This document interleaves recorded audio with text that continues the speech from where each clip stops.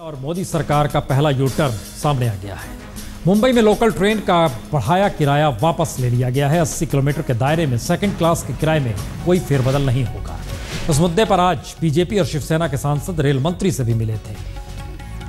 तो जो किराया बढ़ाया गया था, उसे वापस ले लिया गया है।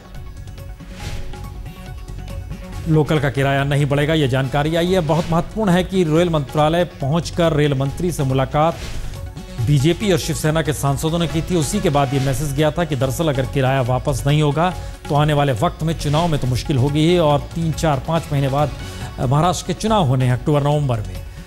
तो ज़ाहिर है कहीं ना कहीं अब केंद्र में सरकार है तो इसका लाभ मिलना चाहिए पार्टी को महाराष्ट्र के भीतर और बीजेपी और शिवसेना के सांसद इसी के मद्देनजर मिले थे। तो 80 किलोमीटर के किराए में कोई बढ़ोतरी नहीं की गई है या स्थिति जस की तस है, लेकिन जो किराया बढ़ाया गया था उसे वापस ले लिया गया है।